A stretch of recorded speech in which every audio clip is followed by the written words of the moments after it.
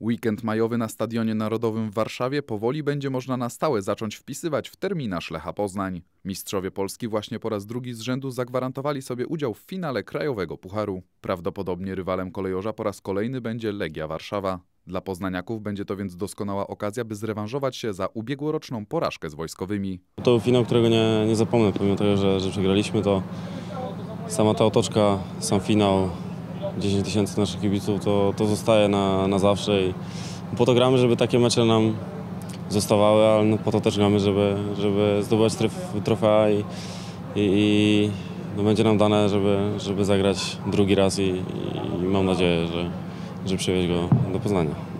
Najprawdopodobniej będzie rywalem Legia. To chyba dobrze, że szansa rewanżu będzie właśnie z tym zespołem, z którym przegraliście. Duży finał, no. dobrze, dobrze. Fajny mecz i, i z Legią zawsze są e, ciekawe pojedynki i na Narodowym pięknie.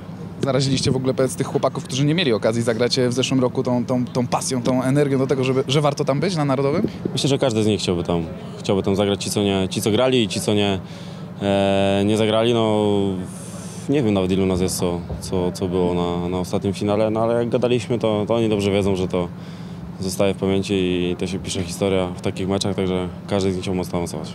A propos starcia w Sosnowcu, jeszcze chciałem zapytać Cię o nietypową y, zjawisko w przerwie spotkania. Y, nie weszliście do szatni, tylko gdzieś tam w tunelu. Czym to było spowodowane i, jak w ogóle się czułeś? Bo tak trochę to wyglądało jak w jakiejś takiej szkole, gdzieś tak w czasy podstawówki. na sparingu. Wiesz co, weszliśmy do szatni, ale było mega, mega ciepło i nie było czym oddychać. A tam było troszkę, troszkę chłodnie i usiedliśmy sobie przy ściance i, i, i tam trochę pogadaliśmy i no trochę dziwnie to wyglądało, ale no było lepiej, było lepiej.